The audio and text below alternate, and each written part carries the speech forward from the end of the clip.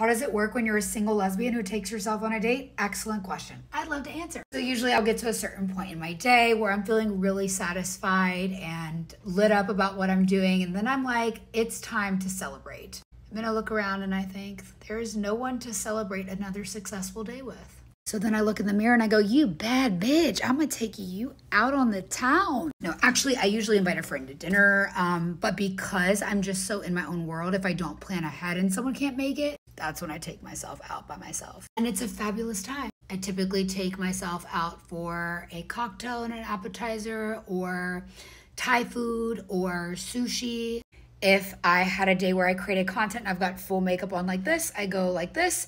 And if it's a day where I just got back from going on a walk, I'll even walk over to the restaurant and not really care about looking super nice. So it all depends on the mood. I drink about two nights a week. So if it is one of those nights where I'm having a drink, I will order either a sake if I have that opportunity, hot sake. And I like adding lemon to it, kind of weird, but it's a thing a glass of red wine if I'm feeling like that craving. I'm not supposed to have red wine.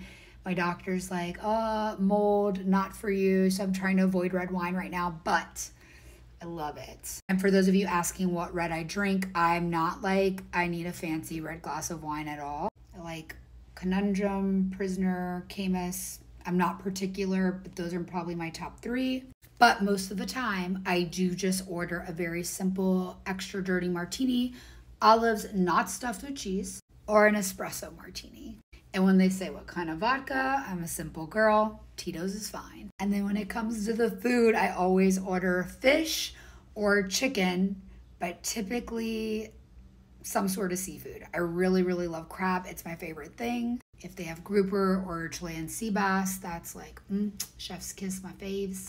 I love crab cakes. I love fried crab claws, but those have gluten and I'm trying to avoid gluten. And I even order dessert all by myself, which because I'm avoiding gluten usually looks like ice cream, which has dairy.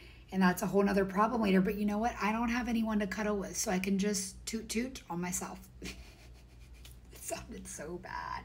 Now I'm really gonna be forever alone, going on dates forever alone. That's how I take myself on the date. How do you take yourself on a date?